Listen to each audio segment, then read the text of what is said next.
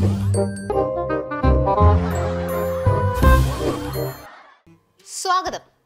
ആര് കൂടോത്രം ചെയ്തിട്ടാണോ എന്തോ? നമ്മളെ ഇരട്ടച്ചങ്കൻ രണ്ടാമത് എന്ന് ഭരണത്തിൽ കയറിയോ അന്ന് തൊട്ട് പ്രശ്നങ്ങളാ. ലോകായുക്ത ബിരിയാണി ചെമ്പ് ബന്ധു നിയമനം. അതിന്റെ വലിയ പട്ടികയുണ്ട്. ഇതൊക്കെ ആ പട്ടികയുടെ ഒരു മൂലക്കുള്ളതേ ആയിട്ടുള്ളൂ. അല്ലേ സഖാവേ? ഇതൊക്കെ എന്ത്? അത് തന്നെ. ഇതിനും വലുത് അങ്ങ് സുപ്രീം കോടതിയിൽ വരാനിരിക്കുമ്പോ ഇതൊക്കെ എന്ത്? ലാവ്ലിനെ ലാവ്ലിനെ. അതൊന്നും ഇങ്ങോട്ട് ഏശില്ല കേട്ടോ അതൊക്കെ മനസ്സിൽ വെച്ചാൽ മതി. ഇതൊക്കെ കൊണ്ടെന്തോ അങ്ങ് ഇളകിക്കളയും. അതൊക്കെ വേറെ ആളെ നോക്കണം കേട്ടോ. പാലം കുളിക്കാനും കേളന് കുലുക്കാന്ന് ആരും കരുതണ്ട. ഇതേ ഡബിൾ ചങ്കനാ ഡബിൾ ചങ്കൻ എന്നാലും ഒന്ന് കുളിക്ക് നോക്കിയാലോ എന്ന് വിചാരിച്ച് രണ്ടും കൽപ്പിച്ച് ഇറങ്ങുന്നവരുണ്ട് കേട്ടാ.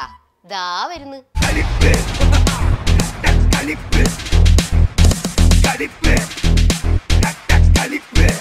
ഈ കലിപ്പ് ഇന്നും ഇന്നലെ ഒന്നും തുടങ്ങിയതല്ല മക്കളെ. നൂറ്റാണ്ടുകളുടെ ചരിത്രമുണ്ട്. ആ ചരിത്രമൊക്കെ അടക്കട്ടെ. ഇപ്പൊ നിലവിലെ കളിപ്പിന് കാരണം എന്താന്ന് നമുക്ക് ഗവർണറോട് തന്നെ ചോദിച്ചു നോക്കാം. എന്നാ വേണ്ട ഞാൻ തന്നെ പറഞ്ഞേക്കാം. കണ്ണൂർ സർവകലാശാലയിലെ ബന്ധു നിയമനം അതാ നിലവിലെ കളിപ്പിന്റെ കാരണം.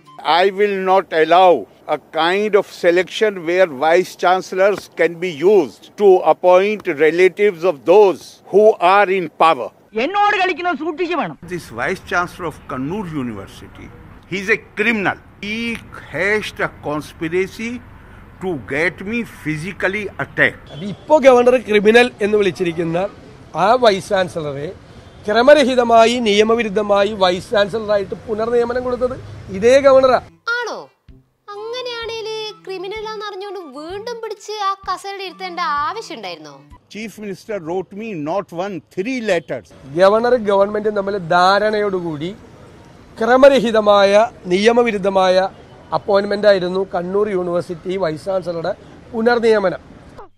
പെങ്ങളൊക്കെ ടി എസ് ത്രീ തന്നെ തുക തരുമോ അളിയ? നോക്കച്ച എന്തൊരു ചേർച്ച. ഒരമ്മ പെറ്റ അളിയന്മാരാണെന്നേ പറയൂ. എന്റെ ചോദ്യം അതാണ്. കണ്ണൂർ യൂണിവേഴ്സിറ്റിയിൽ നിങ്ങൾ ഒത്തുകളിച്ച് നിയമവിരുദ്ധമായ ഒരു വൈസ് ചാൻസലറെ വെച്ചപ്പോ ഈ ഗവർണർ സംഘപരിവാറിന്റെ ഏജന്റായിരുന്നു നിങ്ങളുടെ ഏജന്റ് ആയിരുന്നോ അതിൽ പ്രത്യേകിച്ച് പ്രതികരിക്കാനൊന്നുമില്ല. അപ്പോ സതീശണ്ണൻ പറഞ്ഞ ഈ അഡ്ജസ്റ്റ്മെന്റ് പരിപാടി ശരിയാന്നല്ലേ സഖാവും പറയുന്നേ? ആണല്ലോ. സതീശണ്ണ ഒരു മിനിറ്റ് ഒരു ഗ്യാപ്പ് കൊടുക്കുന്നു. സഖാവ് പറയട്ടെ. ആർ എസ് എസിന്റെ ഒരു സേവകനായി അദ്ദേഹം മാറിപ്പോയി. അത് അദ്ദേഹത്തിന് വന്നിട്ടുള്ള അപജയമാണ്. അദ്ദേഹത്തെ പോലെയുള്ള ഞങ്ങളെല്ലാം ആഗ്രഹിക്കുന്ന അദ്ദേഹത്തെ പോലെയുള്ള ഒരാൾ ഇത്തരത്തിൽ അതപ്പതിക്കാൻ പാടില്ല എന്നുള്ളതായിരുന്നു. അപ്പൊ നൈസായിട്ട് ഗവർണറെ കാവിക്കൊടിന്റെ അടിയിൽ മാത്രം കെട്ടിവെച്ച് തടിയൂരി. അല്ലേ സഖാവേ? സി പി എം വിരോധവും ബി ജെ പി വിരോധം അങ്ങോട്ടും രാത്രിയാകുമ്പോൾ ഒരുമിച്ച് കൂടും. എന്നിട്ട് തീരുമാനിക്കുക അന്ന് സി ബി ഐയുടെ വക്കീലിന് പനിയായിരിക്കും. ആ അപ്പൊ എന്തായാലും ഇ പി കൈയൊഴിഞ്ഞ്.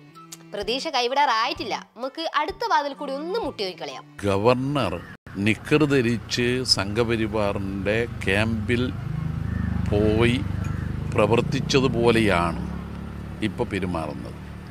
അതുപോലെ വേറെ നിക്കർ ഇട്ടിട്ട് അങ്ങോട്ട് വരാറുണ്ടെന്നാ സതീശ് അണ്ണനും പറയുന്നത് എനിക്ക് തോന്നുന്നത് അദ്ദേഹത്തിന് നല്ല ബുദ്ധി നഷ്ടപ്പെട്ട മനോരോഗത്തിന് ഉടമയായെന്ന അല്ലെങ്കിൽ ഇങ്ങനെ സംഭവിക്കില്ല.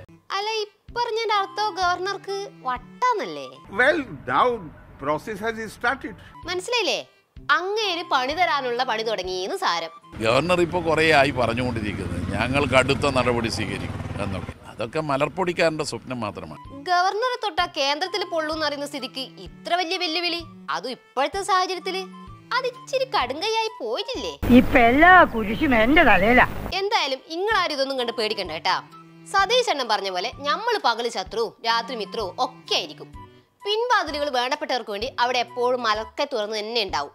ഡോണ്ട് വറി ഓൾവേസ് വെൽക്കം അപ്പൊ നമുക്ക് മറ്റൊരു എപ്പിസോഡിൽ വീണ്ടും കാണാം.